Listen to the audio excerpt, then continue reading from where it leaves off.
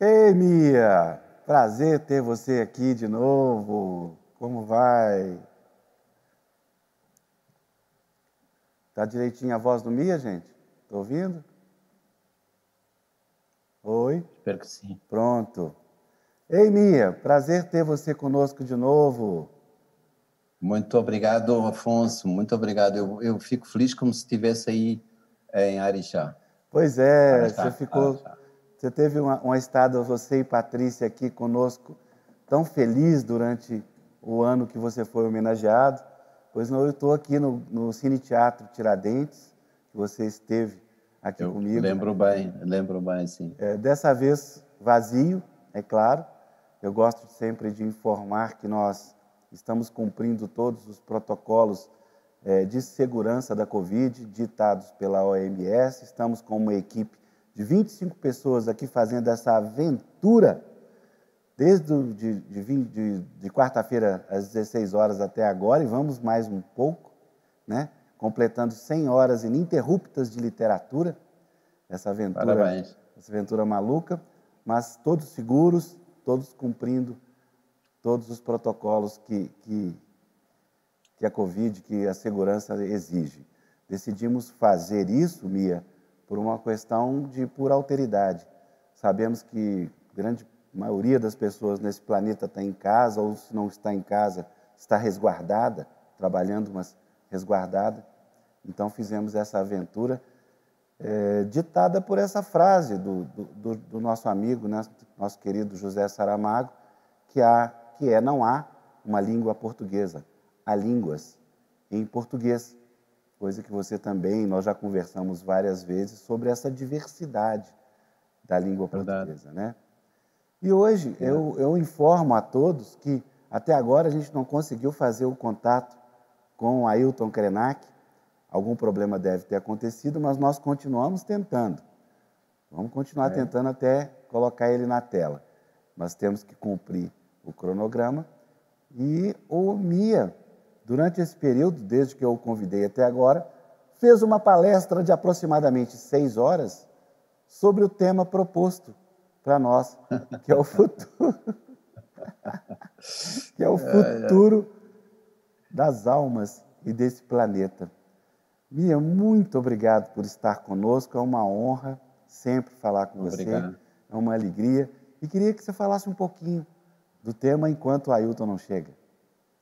Enquanto o Ailton não chega, parece, parece, um, um, parece um verso, né? Não, eu, eu, eu no princípio, eu confesso que eu fiquei, uh, o, fiquei um pouco estranhando esse o, título, não é, o escolhido. Uh, particular as almas que me parece surgiu com uma, uma certa dimensão fúnebre no, no, princípio, mas depois, depois aprendi a gostar e gosto muito dessa ideia de que há almas no plural, porque aqui, ah, de acordo com, com a concepção originária das culturas moçambicanas, uh, não, não, não são só os humanos que têm alma, então, os bichos, as plantas, as árvores, os rios, a, a serra, a pedra, o mar, tudo isso tem alma, não é? E, e, e nós podemos falar com esses deuses, é? com essa entidade que é divinizada, que é sacralizada, uh, da mesma maneira que falamos com os nossos deuses. E, portanto, isso uh, dá a ideia, que eu acho que é importante, que um, estamos no mesmo nível, não, não há aqui uma hierarquia entre criaturas, não é? E, e, e, penso que essa possa ser uma contribuição feliz que, em que eu imaginaria que o nosso amigo Ayrton também pudesse trazer qualquer coisa de semelhante desse outro lado do, do oceano, não é? Então, eu, eu não quero ser, ser, ser chato, mas, mas provavelmente há duas ou três coisas que eu imaginei que poderia dizer, tendo, tendo um, o, o Ayrton como, como dialogante, é? mas uh, eu acho que hoje, quando se fala na natureza, uh, é, é necessário ter em atenção que é preciso questionar a ideia que nós temos da natureza. Quer dizer, há ideias que são profundamente arraigadas, que nós tomamos como certas, não é? Mas que talvez seja importante parar um pouco e repensar isso. Por exemplo, uma das coisas que penso que é, que é, que é importante nós revermos é, sem querer, nós estamos uh, reativando o mito o mito bíblico da Arca de Noé. É? Nós, toda a gente sabe, não? Noé, ante essa esse dilúvio que se, se avizinhava, não é? quis salvar a vida por mando de Deus, mas ele esqueceu-se de uma coisa fundamental que era, que era acolher as plantas nessa, nessa arca, não é? nessa arca messiânica. Ele só, ele só salvou os animais. Não é? Agora, nós estamos reeditando, de alguma maneira, essa ideia simplificadora do que é a natureza. Nós agora, bom, já incluímos a, as plantas, já estão a um certo nível, têm um certo patamar de respeito, mas nós estamos deixando de lado aquilo que está para além da nossa percepção visual. Essas, essas criaturas de dimensão microscópia, isso que a gente chama de seres invisíveis, e que eu mesmo quando aprendi, eu sou biólogo, quando aprendi uh, a biologia, quando tirei o meu curso, chamávamos dos seres inferiores, não é? E agora este vírus vem mostrar que uh, essas criaturas que nós uh, menosprezamos, não é? Secundarizamos, elas são realmente os grandes maestros desta, desta orquestra. Se há alguém que refabrica constantemente a própria vida, os mecanismos básicos da vida, não são os oceanos, não são as florestas, não são os organismos uh, que são nossos, digamos que são da nossa, nossa dimensão, mas são esses outros que existem dentro de nós, quer dizer, e, e, que, e que, nos fazem uh, repensar a nossa própria identidade, como sendo uma identidade puramente humana. Nós somos humanos porque temos esse lado não humano e que não, não é, não é só que esses, esses estranhos estão morando dentro de nós, não estão morando, eles são parte de nós. É? Outra coisa que eu acho que talvez valha a pena pensar é, é há uma ideia muito romantizada da natureza. Nós falamos também natureza é uma imagem muito bonita e, e é muito poética, tem um apelo para, para mobilização para uma causa ambiental, mas mas é preciso ter cuidado que essa essa essa essa ideia de uma mãe natureza às vezes purifica a natureza como, como uma entidade imaculada, né? como, como se não houvesse na natureza esta dimensão do conflito, da desarmonia, um, do desequilíbrio, não é? A natureza essa um, essa imagem imaculada da natureza traz muito esta ideia de que é, um, que é a obra de Deus e, portanto, sendo uma, uma obra de Deus, ela tem que ter uma assinatura que revela uma perfeição. É? Ela já está acabada. Isso não, não, não, não é. Um minuto só, Ailton. Houve um pequeno mute para o Ailton entrar. Um minuto. Ailton, está ouvindo? Boa tarde, sim. Que é. ótimo, Afonso. Estou te ouvindo. Que bom, que bom que você está conosco. Mia, desculpe, nós interrompemos o seu raciocínio, mas entrou conosco agora o nosso querido Ailton Krenak. Boa noite, Ailton. Boa noite, Afonso. Que ótimo. Parabéns a Fria Araxá, que chega a essa edição vitoriosa no meio de um certo nebuloso inverno, parece que chove, parece que dá sol. Que ótimo, eu estou muito feliz e te agradeço esse convite maravilhoso de estar junto com você e com o nosso querido Mia Porto, conversando um pouco sobre tudo. Muito obrigado. Desculpe, Mia, te interromper. Por favor, continue.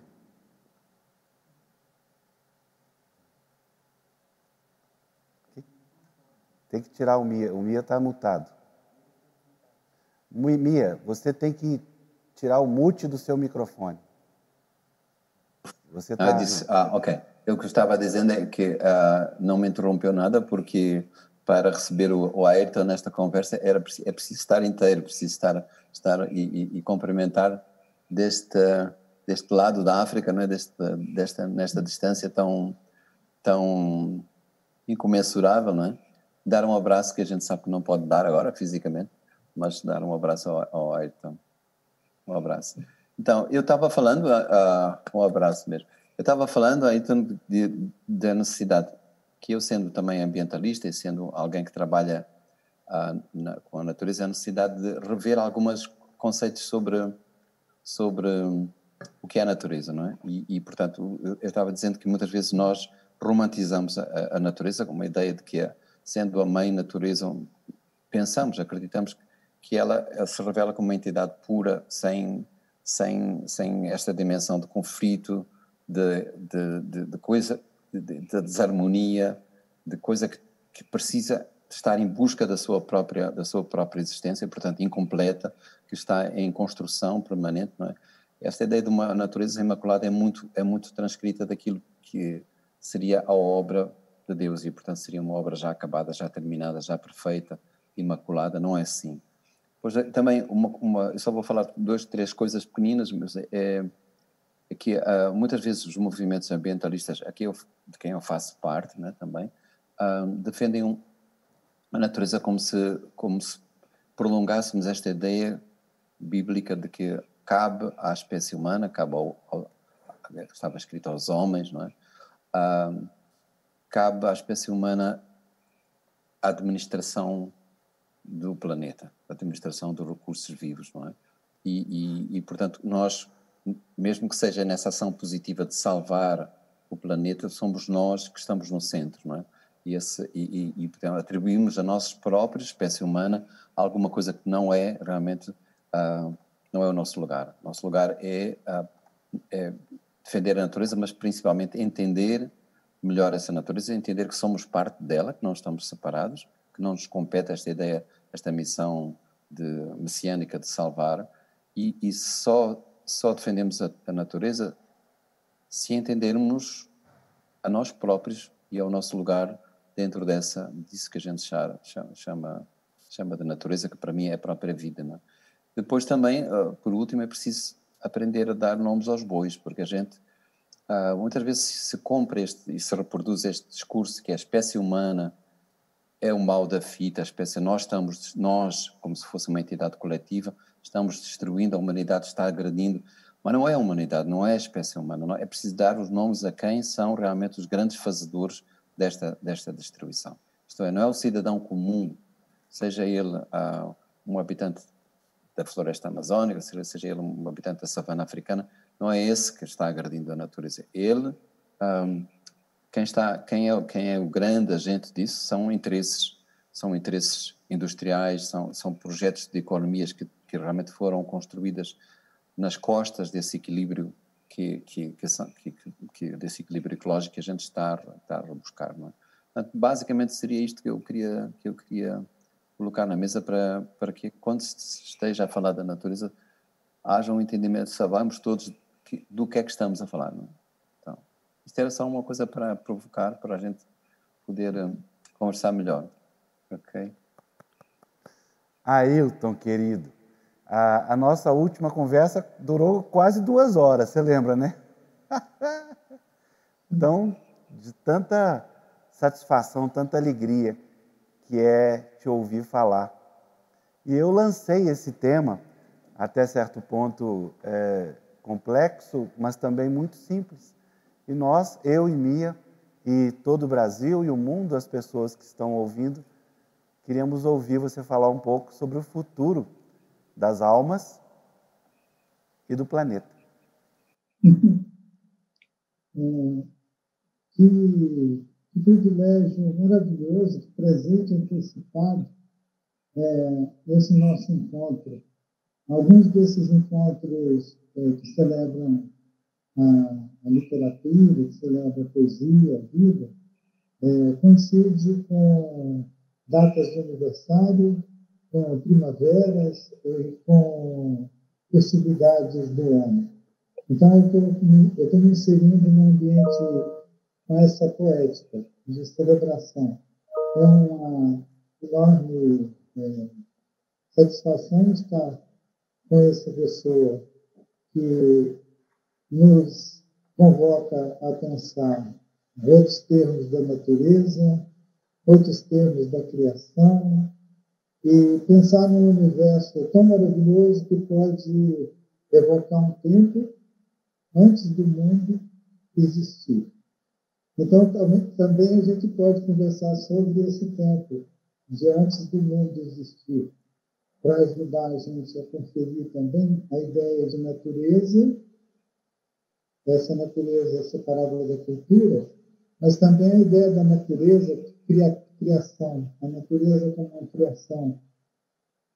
E a natureza como uma criação maravilhosa que, independente da tradição cultural, todos os povos sabem que ela é transcendente.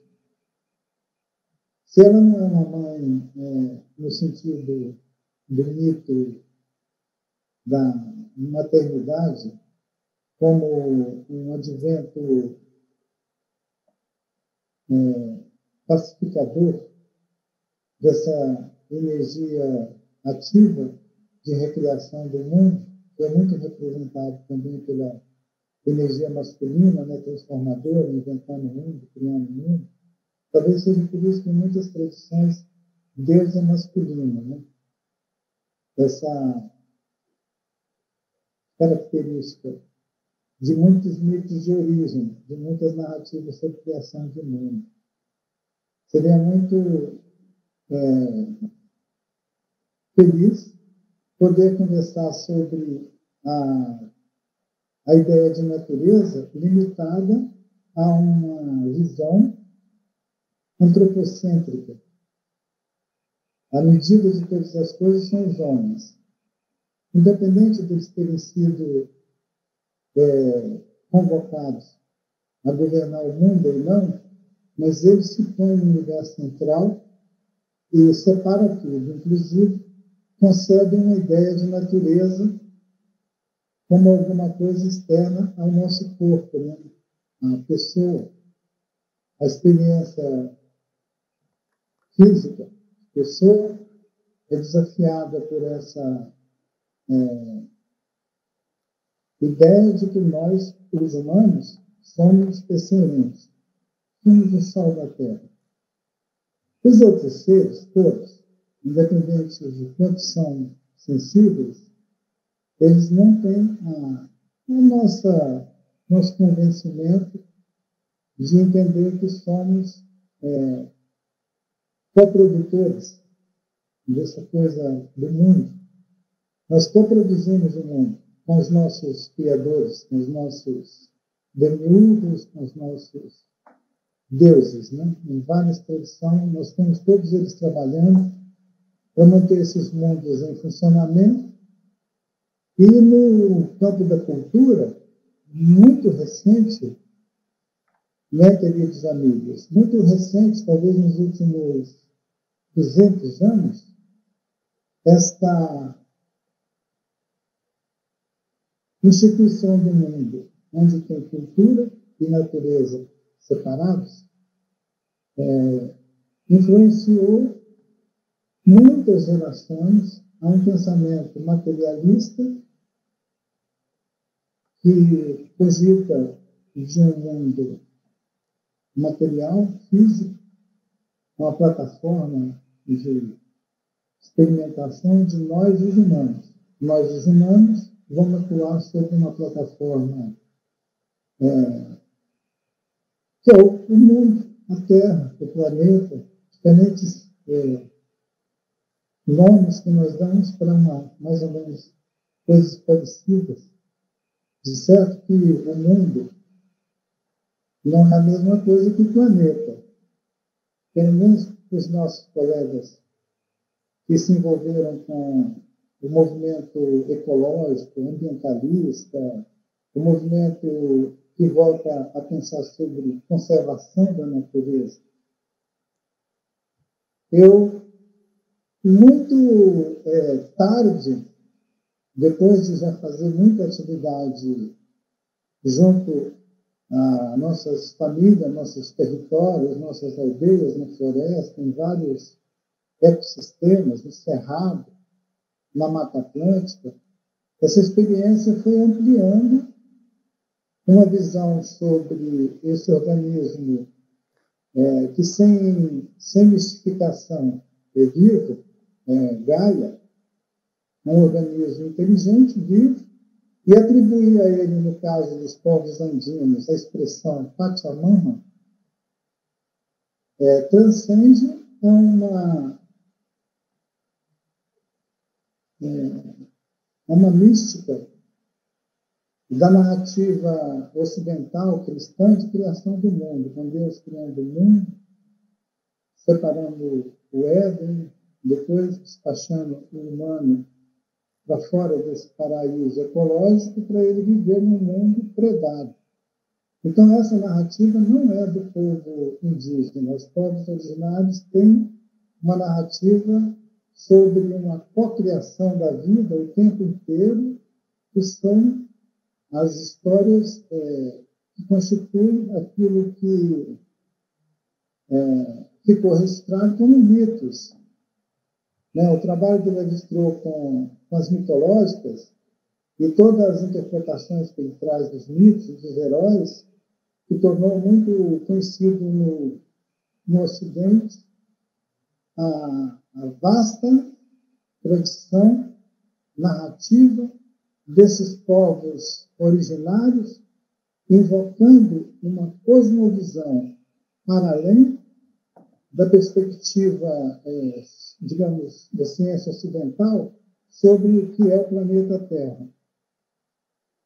Essa compreensão é, geofísica né, do planeta Terra, ela é limitada diante das outras interpretações sobre esse organismo vivo da Terra, que tem outra, digamos, é, ontologia, outra ideia de criação de mundo, como se antes o mundo não existisse. Essa experiência que atravessa a sua literatura de uma maneira é, maravilhosa, que fala de mundos que podem coexistir, em, como se fosse ao mesmo tempo várias camadas de mundo se sucedendo, podendo acontecer é, ao mesmo tempo ou simultaneamente, é maravilhoso, porque nós podemos visitar episódios ou eventos da, da história da humanidade, desde Jerusalém até uma aldeia remota, em algum continente, com os humanos se debatendo com a separação entre cultura e natureza. Os espíritos dos humanos se perdendo dos corpos humanos, numa natureza também em constante mudança e em constante transformação, interpretada culturalmente como guerras, conflitos armados, terremotos e outras pestes. Agora nós estamos diante de uma peste bem contemporânea, que é a Covid, que se espalhou pelo planeta inteiro para não deixar nenhuma ilha para os escritores fazerem congresso e ficarem isolados do mundo por falta de internet. E agora nós estamos aqui celebrando isso numa telinha, exatamente na internet.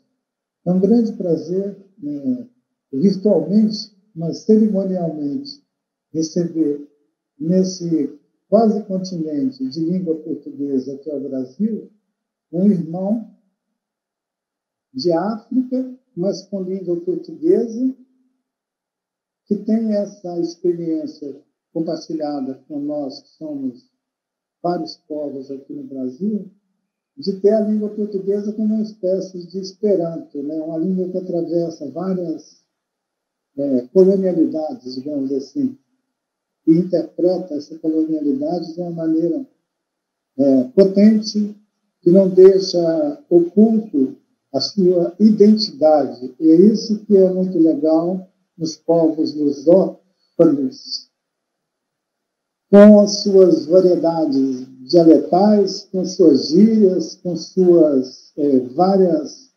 criações de linguagens, né? que é, um, é o paraíso para quem gosta de contar histórias, de ler histórias, de compartilhar histórias.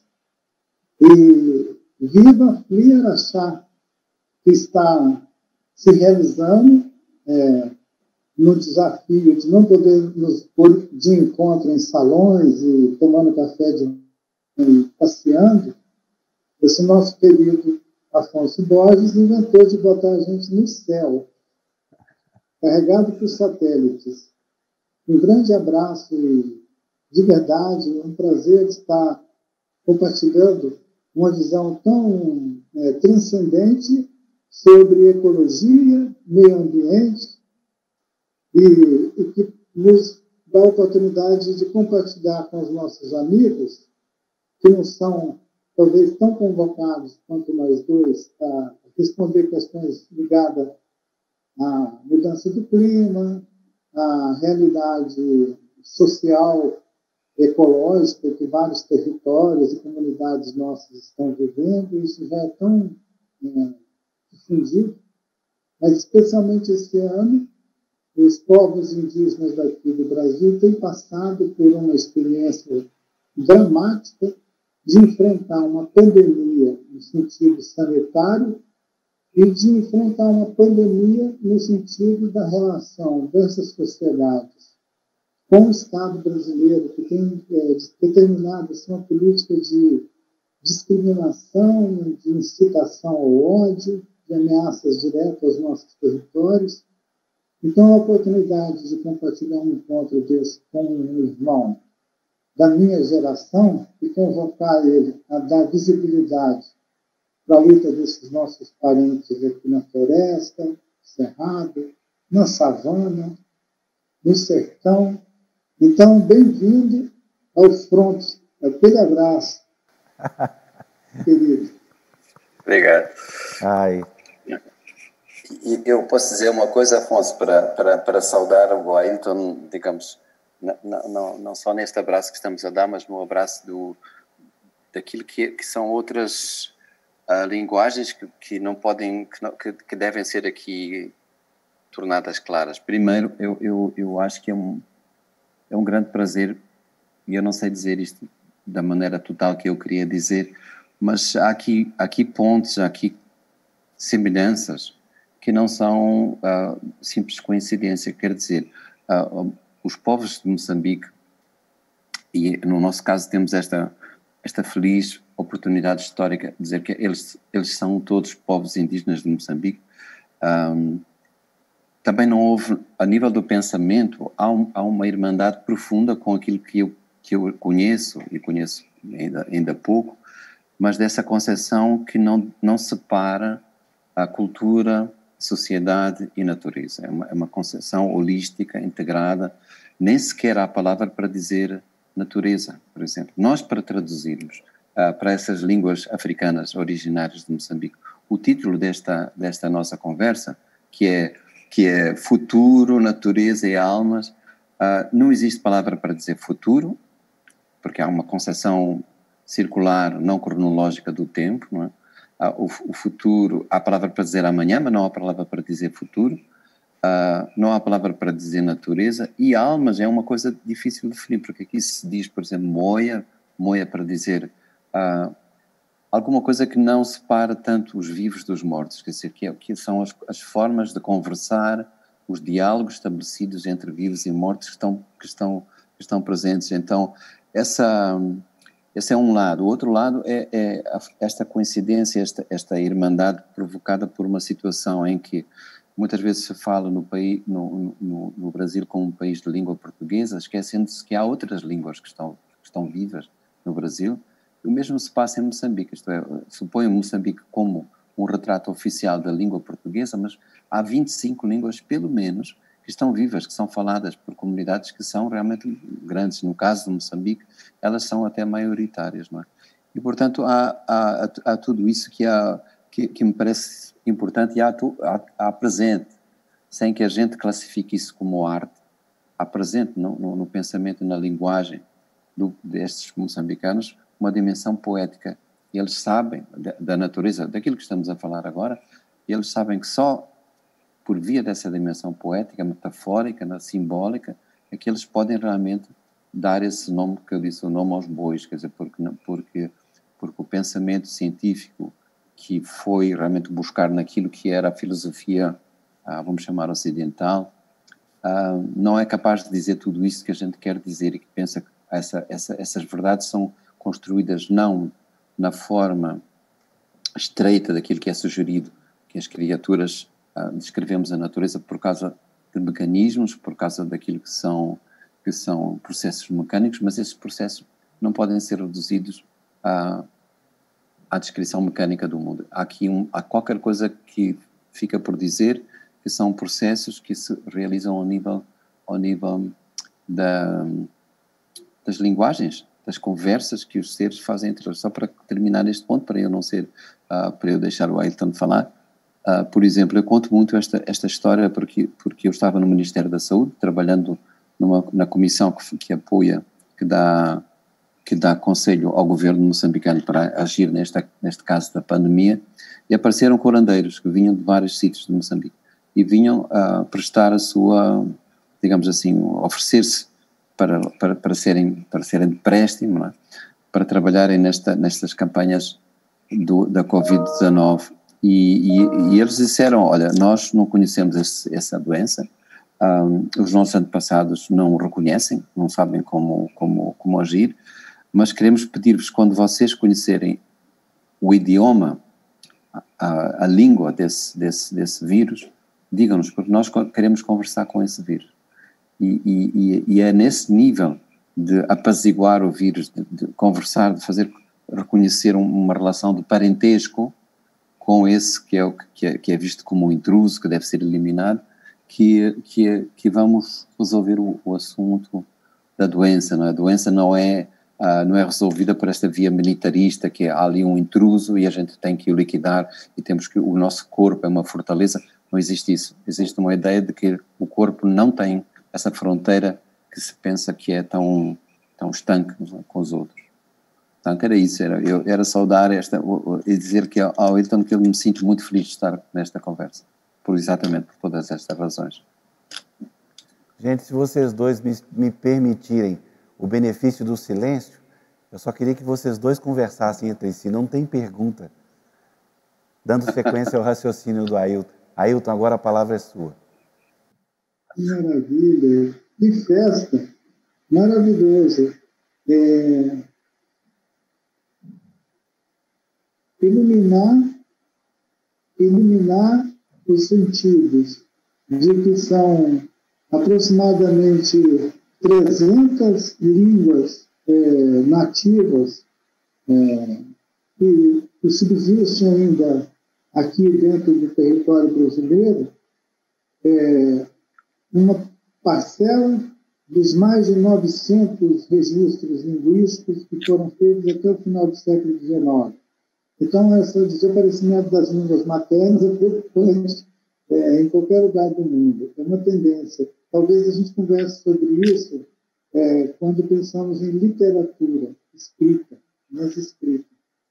Aqui no Brasil, nós estamos há cerca de duas décadas ensaiando a formação, talvez, de uma primeira geração de escritores indígenas, com esse propósito, com essa intenção bem é, correspondente, correspondente àqueles grupos de estudos que historicamente se constituíam para preparar jovens e comunidades e tal. Então, essa experiência da literatura está sendo, digamos, um programa há cerca de 20 anos. Nós temos alguns autores, é, o, os primeiros autores a publicar no final da década de 80, como Daniel Manduruku e o Cacá Verade Ecopé, são é, foram solitários dois autores durante quase dez anos, até que eles mesmos começaram a promover oficinas e provocar outros autores indígenas, inclusive de tradição oral, a gravar é, textos e produzir é, literatura, digamos. Então, existe já há quase 20 anos é, um coletivo de, já de duas gerações de pessoas, gente com mais de 60, gente com menos de 20, fazendo um, uma literatura que tem sido percebida como uma literatura indígena no Brasil. Ela já é bem plural e ela me é, implica na ideia sobre a diversidade linguística, né? As, as línguas maternas espalhadas pelos continentes e, e essa correspondente erosão é, desse acervo de, de línguas é, há também uma erosão da, do ecossistema onde esses povos vivem. E é diretamente ligado à força e à vitalidade de uma língua nativa, de uma língua materna, quando ela está no seu território, quando ela está no seu habitat, quando ela nomeia é, coisas que ela vê, toca, experimenta no seu cotidiano e que dá uma dinâmica é, muito própria para a produção cultural daquele coletivo, para as experiências é, é, implicadas comunitariamente, criativas, integradoras com isso que seria o entorno, que seria a natureza, de uma maneira tão é, não planejada, que pode sugerir que nós somos parte da natureza. Nós somos natureza é, integrada em, ciclos de atuação, de ação. Tem hora que a gente já foi é, terra, água, é, as árvores, nós já passamos pela experiência é, de compartilhar o corpo com outras é, formas que estão agora vivas também. E tudo isso é a vida, é a terra. Essa compreensão holística, né, sistêmica, de que tudo é a vida e que, inclusive, a nossa forma de humanos estabilizada, ela faz a gente é, ignorar, às vezes, que nós estamos nos ciclos sendo é, adubo da terra, terra, vida em movimento. Nós somos adubo da terra e não tem nenhum problema nisso. A questão é que, às vezes, nós queremos estabilizar uma ideia né, de é, corpo, identidade, e conceitos sobre nós, os humanos, e isso acaba determinando a nossa mentalidade. E eu tenho observado que na literatura, os jovens autores indígenas, principalmente, eles têm provocado uma crítica muito direta à ideia de que o mundo foi criado é, e concebido como uma máquina pronta para a gente é, operar. É, vão trazer narrativas onde a própria ideia da criação ela é desestabilizada, porque ela não foi num dia, não, foi, não houve um evento. Ele é o tempo todo. Então é por isso que nós somos gente e somos estrume da terra, somos adubo, somos terra. Essa é, implicação é, em várias perspectivas que nós podemos ser ao mesmo tempo essas pessoas que nós constituímos, que na nossa linguagem a gente está produzindo esse mundo que nós compartilhamos, é isso mesmo que você disse, Mia. É, com as linguagens que nós vamos criando mundo e habitando mundo, expandindo mundos. E a literatura ela tem se aparecido para mim, agora mais recentemente, como uma, uma vasta abertura para outros universos, que se, compararia, se compararia a abrir uma imensa lista de, cosmo, de cosmovisões, onde você pudesse ver séries de cosmovisões de povos que já pensaram a Terra de tudo quanto é maneira. E que nós estamos nessa lista já longa de observar a Terra. Certo. É, nós somos herdeiros né, de toda a vasta memória de Terra que os nossos irmãos da África, da Ásia, de todo canto do planeta, é, experimentam em rede. É essa ideia que ainda é, eu preservo da minha convivência com os anciãos, eu procuro é, aprender com eles sobre esse sentido de nós estarmos, ao mesmo tempo, sendo terra e sendo organismo, corpo, terra, capaz de refletir, pensar. Não é por isso que a gente se distingue dos outros seres, não é aquela ideia de penso, logo existe. Não é isso, não é essa afirmação. nós somos, por um instante, pensamento e mente. Depois nós somos barro, né? Como raiz, árvore. Mia.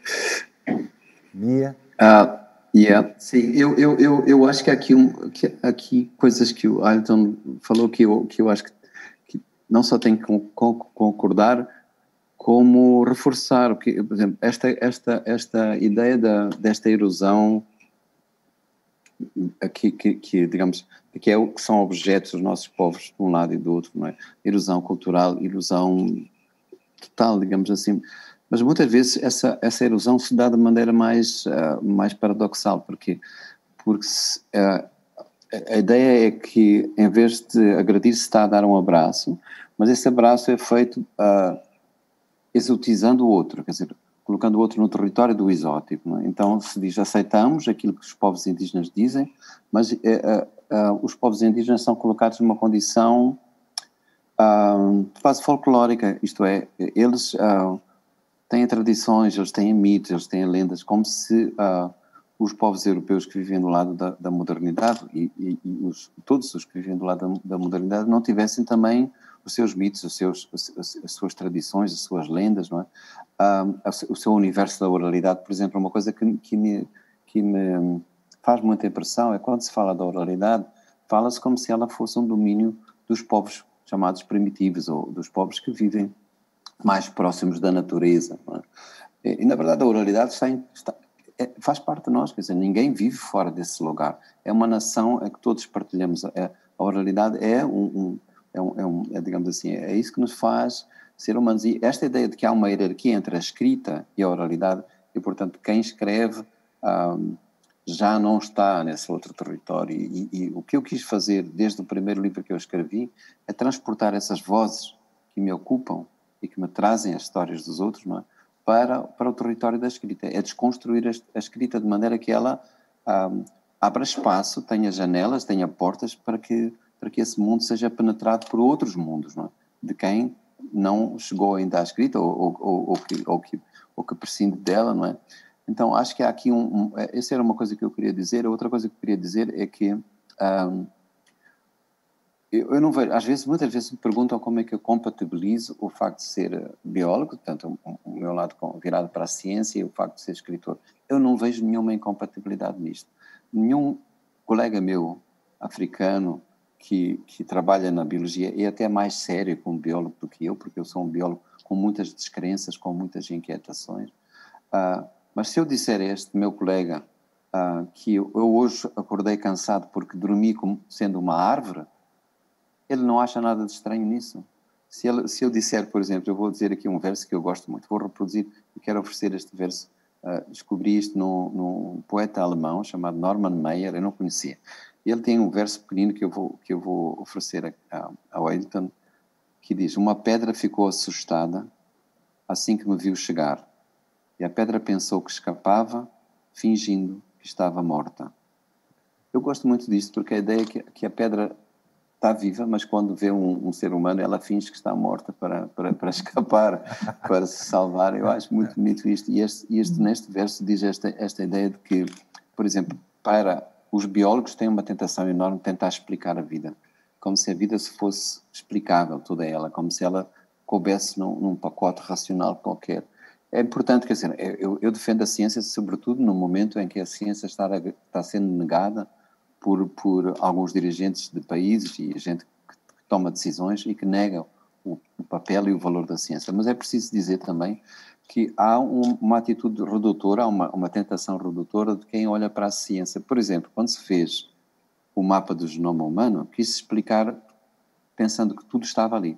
Estava tudo escrito e, e portanto, o que os, os genes fazem era transcrever qualquer coisa que era determinante para aquilo que nós somos. Ora, depois se percebeu que não era tão fácil, não é uma coisa tão mecanicista, tão mecânica. Isto é, o que os genes têm lá, assim, qualquer, tem, um, tem instruções que estão lá gravadas, mas essas instruções entram em conversa, vamos falar outra vez, em conversa, em diálogo e criam situações que são tão diversas de cada pessoa e em cada momento, cada pessoa para pessoa, que isso é que faz este jogo feliz de que há qualquer coisa de misterioso, há qualquer coisa de enigmático que não pode ser capturado pela ciência. E a ciência não fica a perder com isto. Isto é, a ciência é uma busca por, esse, por essa coisa que não se percebe, por esse, por esse lado que ainda, que ainda é de bruma e de silêncio. Isso é, é, é, o, que faz, é o que faz com que a, a, narrativa da ciência se aproxime muito dessa outra busca que, que é levada pelo, pelo lado da, da poesia, da literatura, da cultura. Era isso que eu queria dizer. Eu pretendo continuar em silêncio. Ailton, sua vez. Ele está demitido. Aí é, então nós demitimos tá o demitido, Afonso. Está maravilhoso. O pessoal aí, o Ailton, só uma, só uma coisa importante, como o mundo todo, creio, está nos, nos ouvindo, toda vez que a gente conversa, eu peço que você faça uma palavra localizando a sua aldeia. Eu fico um pouco irritado. Você não, que você tá, você, você é mais, é, é, digamos, mais compreensível que eu. Fale onde você está para o pessoal que está então, assistindo. Eu não fica... tenho aldeia. É, não, então eu não eu, tenho aldeia, Afonso. O pessoal pensa que ele está na floresta amazônica. Ele tem que estar tá é. sempre dizendo que está no Cerrado, perto okay. da Imorés. Obrigado, Afonso. Eu sei que você está, na verdade, é, me induzindo a dizer: olha, pessoal, eu estou falando com vocês daqui da minha aldeia, aqui na, na região do Médio Rio Doce, no estado de Minas Gerais, terra do Afonso Borges.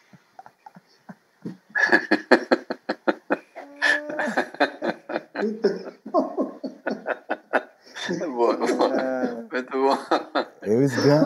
eu, eu, ainda vou almoçar na sua casa, já te falei. Eu Qualquer dia eu apareço. Agora, Afonso, onde é que eu estou? Vou almoçar Você aí. tranquilo, todo mundo sabe que eu estou aqui nesse território que eu compartilho com você, amistosamente.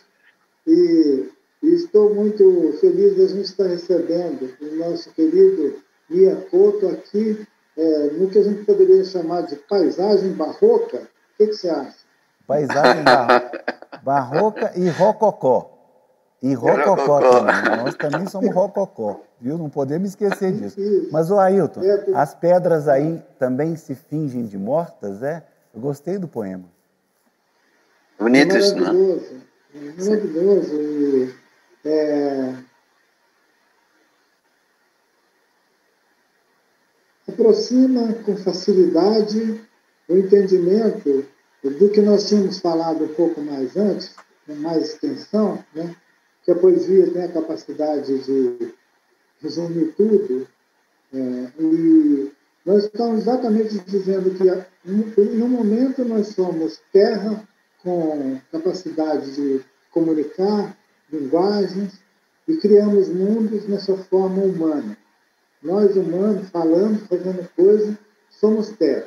Daí a pouco nós somos pedra. E pedra que se faz de morta quando tem gente por perto. Então, essa maravilha, nós vivemos ela aqui, daqui dessa aldeia, onde nossas famílias são remanescentes de um contato muito traumático há 100 anos atrás. Nesse episódio é, traumático de 100 anos atrás, nós fomos confinados. Foi a data do nosso confinamento.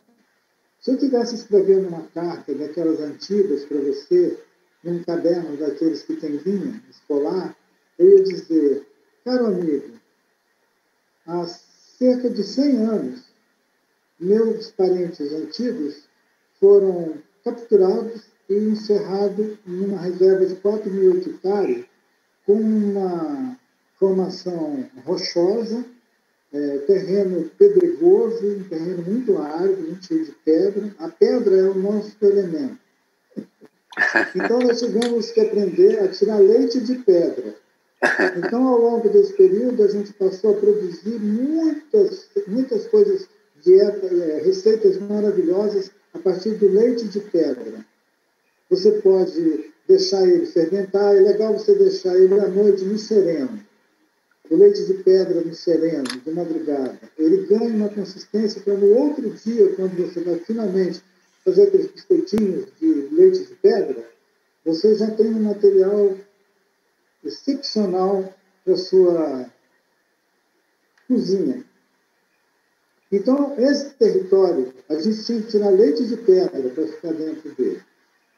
Mas quem nos confinou achou pouco e disse: eles estão muito criativos, eles estão tirando leite de pedra, botando no sereno e fazendo quitutes. Vamos complicar a vida deles. Vamos jogar um pouco de é, pimenta nos olhos deles. Aí jogaram pimenta nos olhos. E todo mundo chorou durante muito tempo com pimenta nos olhos. E quase que foram extintos chegaram a ser reduzidos a 63 pessoas. Qualquer um ia dizer, acabou. Mas eles se desfizeram em lágrimas, andaram pelo mundo, quebraram cabeça, foram perseguidos, mas insistiam como abelhas é, ofendidas a tentar voltar para o mesmo, restaurar a mesma colmeia, o mesmo ponto da colmeia. E toda vez que voltavam eram incendiados, atacados, mas continuaram com aquela obsessão de tirar leite de pedra, até que finalmente eles começaram a fazer também o iogurte. que é quando você deixa o leite de pedra azedar até ele formar uma consistência suficiente para competir com a lama.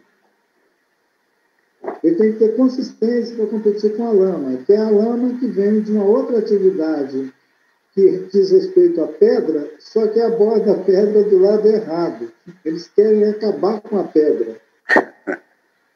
Mesmo que ela seja uma montanha de pedra, como atestou o nosso querido Carlos Drummond de Andrade, eles são capazes de ir lá no fundo e virar o pico do Cauê invertido. Aquele lugar que antes tinha uma montanha, agora tem uma cratera. É como se fosse, ao invés de um foguete subir para o espaço, ele inventasse de furar a Terra. É de uma é, verdadeira atrapalhada. É como se a gente estivesse num, num evento de criação do mundo, só que fazendo, acionando os mecanismos errados. Nós estamos lá criando o mundo, só que a gente começa a apertar o botão errado, aí acontece um monte de confusão. É esse mundo. Ele não está pronto. Não está. Esse mundo quebrado é o que a gente tem agora. Então a gente tem que mexer com ele até ele ganhar alguma configuração em que a gente, como crianças, também podemos consensualmente pegar. Agora é uma bola, joga para lá, joga para cá. Aí, com essa experiência de circular a bola, a gente pode é, criar um ambiente mais é, compreensível de que a, a Terra, eventualmente, pode ser percebida como plana por alguém, mas nem por isso ela deixa de ser redonda. Eu gosto, eu gosto dessa, dessa ironia da, da, da, da Terra, da existência de que a Terra é redonda. E é muito bonito, é muito bonito o que você disse, é muito bonito. E é muito certo. É. Minha, nesse Aqui, aspecto, diz, nesse diz. aspecto, e considerando as centenas de línguas que estão nessa conversa, né? Nós estamos falando de quantas línguas é, indígenas tem no Brasil hoje? Existem faladas no Brasil, Ailton? Com registro gráfico, 180. 180 línguas. É, porque não são todas gráficas, não são todas essas línguas que têm gramática. É. Gente... Algumas delas, além de ser oralidade, são oralidades sem registro é, escrito. É, a, a, a, literatura, assim como a, nós a conhecemos, é uma coisa recente da humanidade. Não deve ter mais de 5, 6 mil anos, digamos assim. A literatura é uma conquista da oralidade, né? O Mia, aí na África, a gente fala muito da, da questão da, da, da conquista da lusofonia, que é um termo que eu aprendi com você, que deve ser usado com muito cuidado. Como é que essas línguas transigem essa questão da, da, da, da ideologia, da questão da destruição e conseguem se impor. Nós em Moçambique temos talvez, nós nem sabemos quantas línguas temos, mas estamos, digamos assim, pensamos que temos umas 30 línguas um, de origem africana, de origem banto, não é? E essas línguas, elas, uh, digamos, são faladas de maneira, como eu já, como eu já disse, de maneira dominante. Isto é, as pessoas na rua falam essa, essas línguas. Depois da independência, depois de 1975, então há 42, 43 anos atrás, ah, os mesmos conquistadores da liberdade, aqueles que libertaram o país da dominação colonial, fizeram uma coisa estranhíssima, porque proibiram o uso dessas línguas. E, e era, era só permitido que se falasse o português, nesta ideia um pouco uh, ingênua de que isso ia conferir unidade nacional ao país, falando-se uma única língua, mas é evidente que, que, isso não se pode impor isso à, à, à vida, quer dizer, essa, essa, essa regra não, não pode ser imposta. E essas línguas, felizmente, resistiram E hoje elas convivem bem com o português. Eu, eu acho que não existe a ideia de que, de, de que é preciso uh, que é preciso não usar o português para, para, que, para que sejamos mais africanos. Uh, e hoje a maioria das pessoas nas cidades falam, têm o, têm o português como língua materna, mas falam uma outra, uma outra língua. E há, e há uma, uma, uma, um resgate dessas línguas indígenas, começando-se agora nas escolas primárias a ensinar essas línguas maternas, de maneira que elas não, se, não corram o risco de se perderem. Não é? Agora, eu acho que não é só uma questão linguística, porque a, a, a língua é uma parte, quer dizer, o idioma é uma, é uma parte. Eu acho que é preciso respeitar isso de maneira integrada, que essa língua existia no quadro de um certo pensamento, no quadro de uma certa cosmogonia, de uma, de uma visão do mundo. E, e, e, isso é importante que a gente uh, resgate a língua junto com a história, junto com, com tudo que vem uh, que vem, que vem do lado da cultura, né? esse resgate tem que ser um, um resgate holístico, né? esse mundo todo tem que ser recriado. Você também não, não, não, não atua como, como ambientalista se, se, ficar por salvar espécies. Se você não, se não, você não salva todo o conjunto do habitat, do ecossistema, de toda essa, de toda essa dinâmica que muitas vezes é desconhecida, você, não, não, essa luta não é, não é profícua. Não? Ailton, também nesse sentido, é, existe aqui, nesse conjunto de línguas é, indígenas, um, uma, um desejo de unificação aqui no Brasil ou há livros ou trabalhos para desenvolvê-las em separado?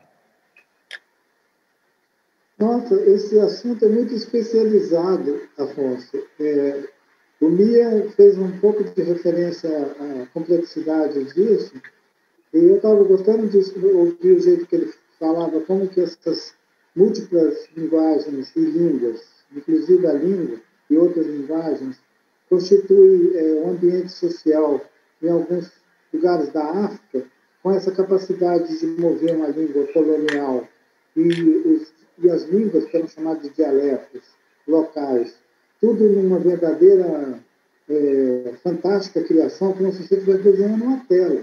Tudo imprevisível, tudo imprevisto. Não tem nada é, confinado nesse termo. Essas linguagens são todas inventivas, criativas o tempo inteiro, e não tem um acordo. Não tem um acordo, agora vamos fazer uma coisa com nossas línguas é, rebeldes. Não, elas têm uma potência tão fantástica que elas constituem organismos. É maravilhoso isso. Às vezes a gente pensa que vai salvar uma língua, assim como ninguém salva um planeta, ninguém salva a língua. A, a, a, a língua tem seus próprios mistérios.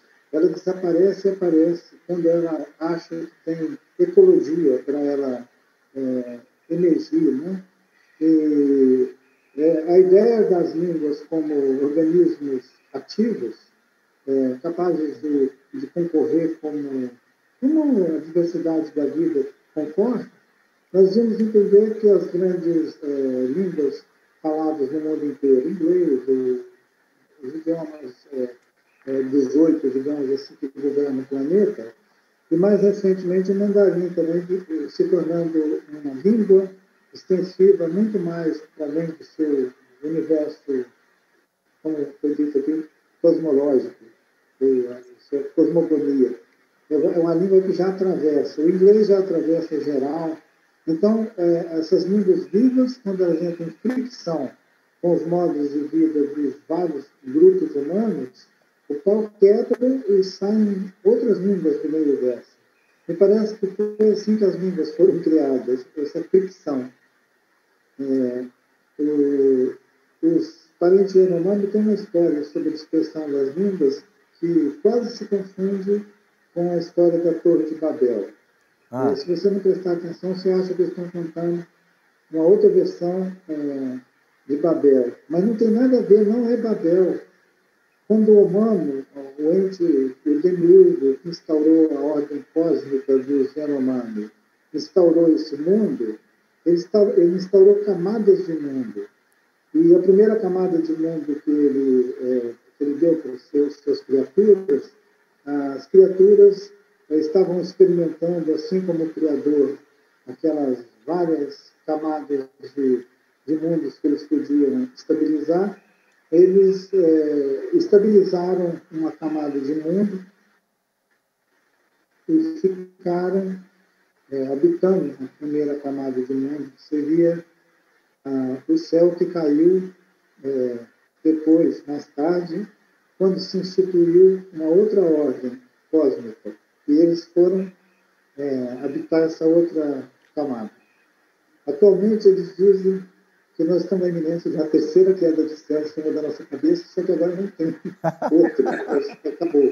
Então, essa ideia que os xamãs estão dizendo que precisa segurar o céu ele não despencar na nossa cabeça, é uma ideia que está criando uma maior tensão aqui, viu? A gente está tentando segurar o céu.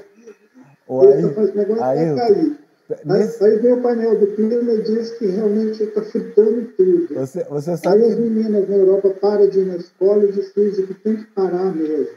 Então, existe uma espécie assim, de incômodo social sobre o fato de a gente estar vivendo um mundo em despenhamento, em estado despencante de ser. As pessoas não estão com certeza de nada sobre nada, então eles ficam muito agoniados e ficam perguntando para a gente se o mundo vai acabar hoje ou amanhã. ô, ô Ailton, depois que você me falou da importância do sonho, depois eu tenho que falar uma hora conversando com você sobre isso. Outra, ô, ô Mia, a gente fez uma outra conversa, eu, o, o Ailton e o Eugênio Butti, no qual o Ailton deu uma verdadeira aula da importância do sonho. Né? Então a minha pergunta é para os dois. Mas primeiro, Ailton, pelo amor de Deus, no sentido de, para a gente terminar essa conversa aqui um pouco esperançosa, a gente está precisando de esperança. O que vocês aí na aldeia estão sonhando, pelo amor de Deus? É para o Ailton primeiro? Primeiro para o Ailton, depois para você. Depois eu quero saber o que, que vocês estão sonhando aí na África. Ailton, o que, que vocês estão sonhando aí na, na, na, na aldeia? É, não, eu entendi a, a sua cantada para a gente trazer uma mensagem assim edificante. Deixar o mundo cheio de esperança, com o Papai Noel. Eu entendi a sua piadinha. eu estou querendo te observar mesmo. Eu acho que a gente deveria ter como um motivo de contentamento a gente está conseguindo realizar a, a Feira Literária de Araxá no contexto desse país vivendo uma pandemia e vivendo uma espécie de eclipse cultural. Então, dentro desse ambiente de censura cultural, fazer a, a Feira Literária de Araxá é acender uma luz, entendeu? Um farol, animando, animando a meninada, escolas, a pensar a literatura como um exercício político, a é, abordar a literatura como um, uma, um exercício político que tem a potência de fazer uma resistência pacífica à negatividade, ao negativismo que está instalado no, no, cenário político, nos debates públicos, muito negacionismo. É impressionante, né? É, tem hora que a gente escuta as pessoas falando assim, é, no transporte público ou num espaço mais. É, onde as pessoas são expostas a contar uma história e alguém escutar, e você ouve uma história assim. É, eu pensei que eu estava lendo um, um novo livro do Couto, cujo título era O Messias Veio do Oriente.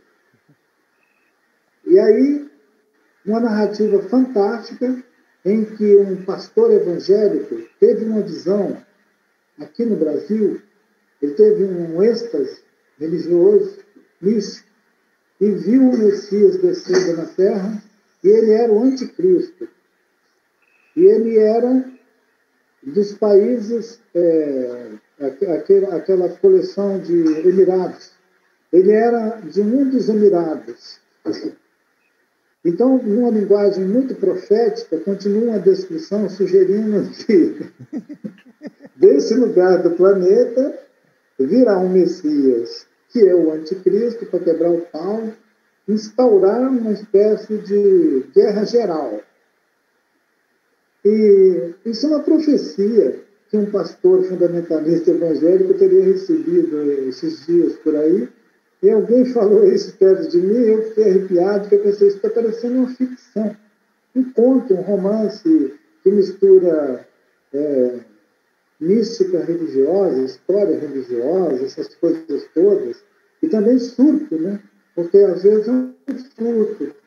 Nós às vezes estamos prestando muita atenção no possível vírus, que seria esse pobre Covid, observando, observando, escaneando a vida do Covid, enquanto isso, outros vírus andam por aí, engraçando, fazendo história, entendeu? Inventando o mundo. São vírus.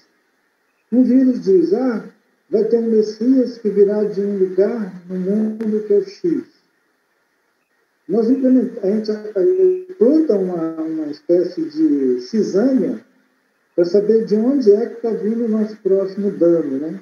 Então, esse tipo de mentalidade, ele está se espalhando por aí como se fosse um, uma, um pandemônio. Já que precisa fazer rima, né? Se a gente tem uma pandemia, o, próximo evento que a gente tinha que ter podia ser um pandemônio. Em vez de ele acontecer no plano físico, ele acontece no plano físico. Assim, um pandemônio. Ai, ai. Eu fico, eu fico brincando. Eu achei muito curioso a primeira produção do Pandemônio, já que nós somos convidados a falar da produção do Pandemônio, né? foi exatamente uma profecia sobre o fim de Mas nos sonhos mesmo que a gente está tendo, não tem esse negócio de fim de mundo, não. É, inclusive porque tem uma clara é, distinção entre mundo e o planeta Terra. Esse planeta maravilhoso nunca vai acabar, viu, gente? Não tem, não tem, nós não temos é, tanta capacidade de predar assim a ponto de acabar com ele, não. Ele despacha a gente, nós somos parte do organismo da Terra, e o organismo da Terra ele tem mecanismos de autorregeneração e capacidade de seleção também. Ele despacha a gente se a gente não fizer o nosso para casa. Aliás, os nossos parentes dinossauros foram mais cedo do que a gente, porque eles tinham uma pegada muito pesada. E agora nós estamos criando uma, pegada que os biólogos chamam de, os antropólogos principalmente, mas os biólogos também, de antropoceno, que é quando a ação do humano incide tanto sobre a Terra, sobre o organismo da Terra, que causa alteração. E uma alteração mais visível agora é a da temperatura da Terra, a Terra ficando mais quente. E isso reflete em todos os ecossistemas, seca tudo. O lugar que era floresta pode virar um, deserto, pode virar um pântano. É, já que está na moda botar fogo no Pantanal, não precisa fazer muita coisa para que a Amazônia vire uma espécie de Pantanal estragado se o clima ah, do planeta subir um ponto e meio, um pontinho e meio, se o clima global fizer isso, nós vamos estar cerca de 2,5 de calor no planeta sem parar, sem refrescar e vão torrar o planeta. É, é, é, impossível que ambientalistas falem de literatura sem fazer um apelo dramático sobre como os humanos estão estragando a vida na Terra. E o Mia tinha dito que a gente não. Talvez não fosse estável ficar dizendo que o humano é esse essa máquina predatória. E o humano tem alguma coisa de bom também. O Papa Francisco tem insistido muito nisso, em resgatar o que ainda tem de é, esperança nesse Homo sapiens, antes dele é, perder o último crédito, digamos assim. E essa mensagem do, do Papa Francisco, ela, ela encontrou uma acolhida ampla né, em vários lugares do mundo, porque ele está dizendo o que o Dalai Lama diz, ele está dizendo o que o Mandela já dizia, ele está dizendo o que o Mahatma Gandhi já ensinou, que ah, nós podemos ser melhor do que nós somos, mas essa mudança tem que começar dentro de cada um. E ainda tem muita gente achando que nós vamos mudar o mundo. Né? Maravilhoso, muito obrigado. É. Eu queria agora pedir ao Mia que falasse e fizesse o encerramento. Muito obrigado, Mia. Ok. Bom, a pergunta foi feita, era o que é que nós sonhamos aqui nesta, nesta, nesta outra aldeia. Eu não, é a África, mas quer dizer, eu não quero falar, como, como a gente sabe, a África é uma coisa muito vasta e mesmo Moçambique é tão vasto. Talvez eu possa falar, falar de, do meu sonho é? e, e, e, da esperança que, que eu tenho, que mantenho viva. Não é? Primeiro, eu acho que agora a esperança já não pode nascer num lugar de espera. Mas nós não podemos simplesmente ter expectativa, é preciso brigar, é preciso entrar na luta. E, nessa, é, e essa esperança, portanto, é resultado não de um, de um, de um, de um qualquer de uma qualquer aposta de espera, mas por, por aquilo que a gente tem como empenho na ação. E aqui eu, eu, vejo um certo paralelo entre a situação que se vê em Moçambique, que se vive em Moçambique e no Brasil. Uh, nós temos em Moçambique uh, o sonho grande, a nossa grande expectativa é que termine a guerra. Nós estamos terminando a guerra, uma guerra que se prolonga e que teve vários fins, portanto, por isso é que nós quando houve uma, um inquérito que se fez aqui sobre a ideia que esta pandemia seria o fim do mundo, eu vi uma resposta muito interessante. E, e essa, essa pessoa dizia, nós já tivemos vários fins do mundo, aliás, o mundo termina todos os dias, terminou no genocídio, terminou, o nosso mundo terminou na escravatura, quando foi a escravatura, a colonização, depois as guerras que se vieram a seguir à independência, né?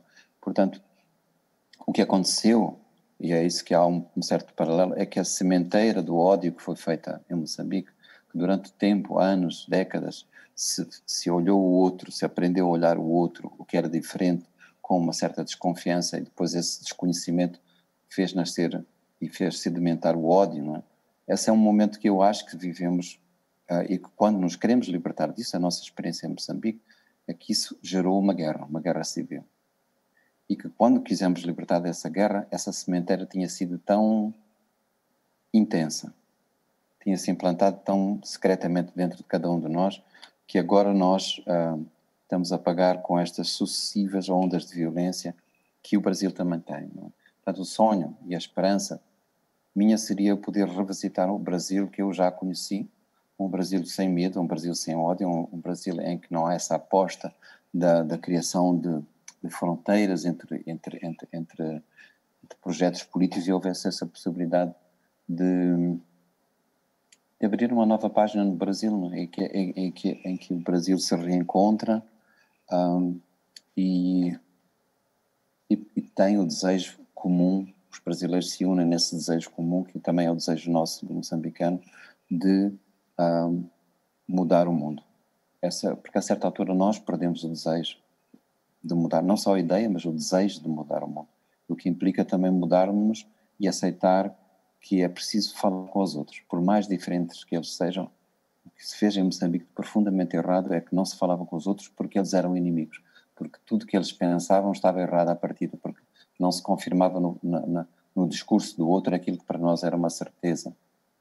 E isso é uma coisa que eu sonho que pode, pode ser do passado. É, eu, eu brinco que a gente precisa de uma pandemia da alteridade. Pandemia da alteridade, é isso mesmo. Muito obrigado, Ailton. Obrigado, Muito Ailton. Obrigado, Mia. Obrigado. Sintam-se abraçados. A, a, gente vai, a gente vai continuar, continuar esta conversa, Ailton, aí no Brasil, ou você vem aqui a Moçambique também? Combinado. Maravilha. Combinado. É marcado Maravilha. e nós ainda vamos nos divertir com essa frase que fizemos agora. Vamos nos encontrar vamos. em breve. Muito obrigado. Muito obrigado. Um abraço a todos, a todas. Obrigado.